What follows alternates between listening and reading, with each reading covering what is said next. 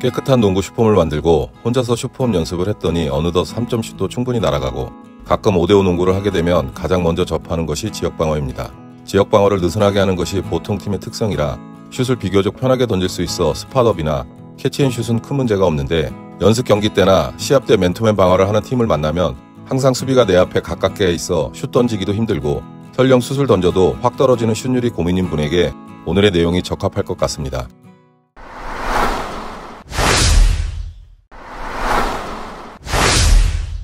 1. triple threat and jab step triple threat은 한 가지 자세에서 슛, 드리블, 패스를 할 수 있는 공격의 기초 자세입니다. 따라서 수비자에게 슛, 드리블, 패스 세 가지를 막아야 하는 압박을 줄 수 있기에 공격자가 매우 유리한 자세이지만 타이트한 맨투맨 방어에서는 triple threat만으로 쉽게 통하지 않으니 여기에 추가로 jab step이 같이 사용되어야 합니다. triple threat과 jab step이 실전에서 어떻게 사용되는지 확인 바랍니다. triple threat과 jab step이 같이 사용될 때 공격의 우선순위는 슛, 드리블 돌파, 그리고 패스 순서입니다.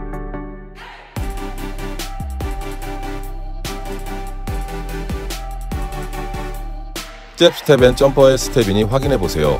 이제 jab step에 대해 좀 더 자세히 알아보겠습니다. 1. jab step을 사용하는 장소는 어디가 좋은가요? 좀 넓은 의미의 paint zone에서는 밀착 수비로 인해 face up 상황이 쉽지 않지만 그 외 지역은 모두 가능합니다. 단 가장 자신 있는 슛 지역에서 jab step을 사용하는 것이 좋습니다. 자신의 슛거리를 벗어난 지역이나 슛 made에 자신 없는 지역에서 잽스텝을 사용하면 잽스텝에 이은 슛은 없는 상태에서 드라이브만 하게 되니 별것 아닌 것 같아도 유의해야 합니다. 2. jab step은 한 번만 사용하는 동작인가요? 1. jab and go 드라이브가 아닌 슛 동작으로만 확인해보면 한 번 사용한 jab step을 빠르게 다시 사용합니다. 2. jab and jumper 동일하게 한 번 사용한 jab step을 다시 사용합니다.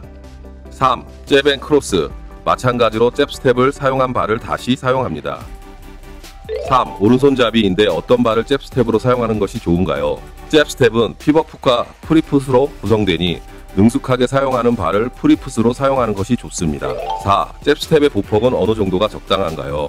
권투에서는 보통 quick jab으로 반응 살피고 그 반응에 따라 그 다음에 큰 펀치가 나오게 되는데 스트레이트 펀치와 같은 power jab이 있는 것처럼 농구의 큰 jab step은 수비자의 반응 유도가 쉽고 짧은 jab step은 다음 동작이 빠른 장점이 있습니다.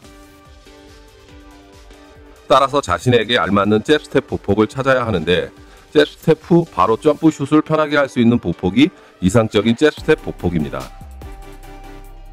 동호인 농구에서는 open space로 다가오는 동료 또는 팀 전체의 spacing에 대한 인식 부족으로 돌파가 쉽지 않게 되니 항상 슛을 우선으로 연습하는 것을 추천드립니다. 여기에 고급 스킬로 jab step and step back 슛까지 추가된다면 매우 강력한 공격자가 될 것입니다. jab step은 드리블 치기 전 사용, 그러나 가드의 경우는 이미 드리블을 치고 있는 상태가 대부분. 따라서 지금부터 드리블 중 수비와 격차를 만들 수 있는 세 가지 방법을 알아보겠습니다. 그런데 만약 드리블 능력이 썩 좋지 못하다면 그때는 어떻게 해야 할까요?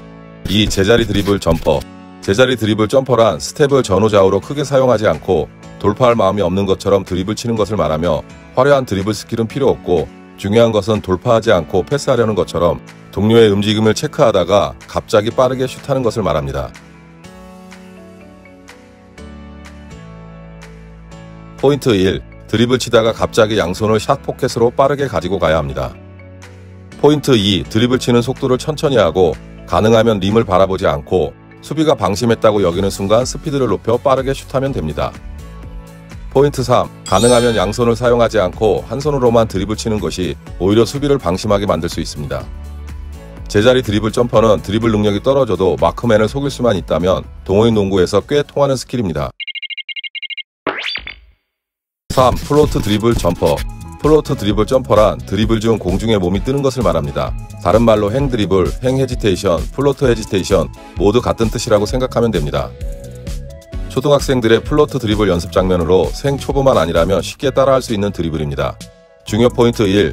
드리블 방향을 바꿀 때 손도 바뀌는데 이때 몸이 공중으로 뜨고 2. 착지하면서 볼이 있는 손과 같은 쪽발이 앞으로 나오는 것이 포인트입니다. 스트레이트로 연습하고 만약 수비가 반응하면 cross dribble을 치면서 다시 방향 전환을 하면 됩니다. 끝까지 확인 바랍니다.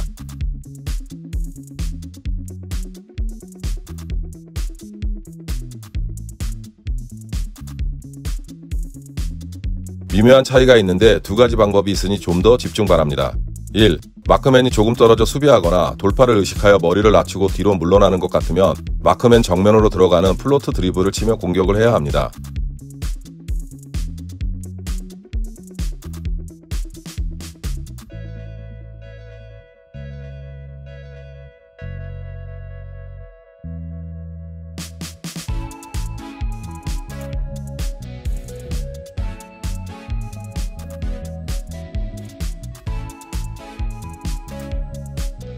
그런데 수비가 뒷걸음치지 않고 제자리에 서서 반응하는 경우도 있는데 그럴 때는 float dribble을 다르게 사용해야 합니다. 2. 그때는 앞이 아닌 옆으로 움직이는 float dribble을 쳐야 합니다.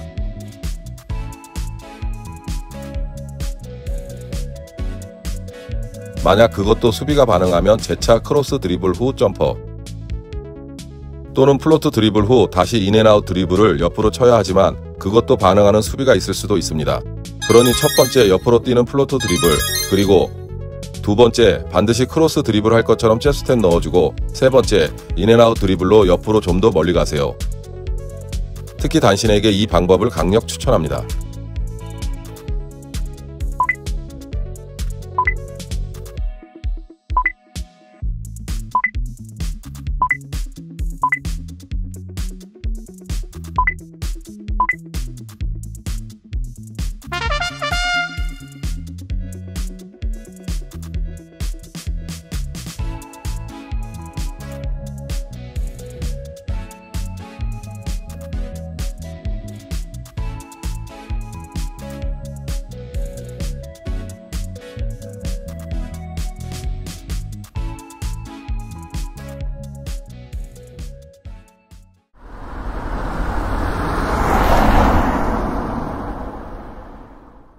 (4) crossover step back crossover step back을 추천하는 이유는 동호인이 따라하기에는 높은 슛률을 장담 못하는 스킬이지만 1. 마크맨과 격차를 만들기에는 효과가 높기 때문입니다.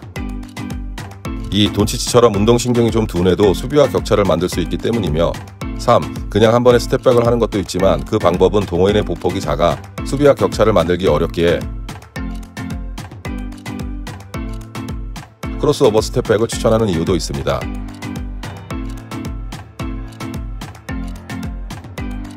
step back은 앞으로 그리고 뒤로 중심 이동을 하기에 좀 어렵지만 꾸준히 연습하면 좋은 결과 있을 것입니다. leg through와 함께 사용해도 좋고 앞서 소개한 옆으로 뛰는 float dribble 후 crossover step back 강력 추천합니다. 지금까지 시청해주셔서 감사합니다.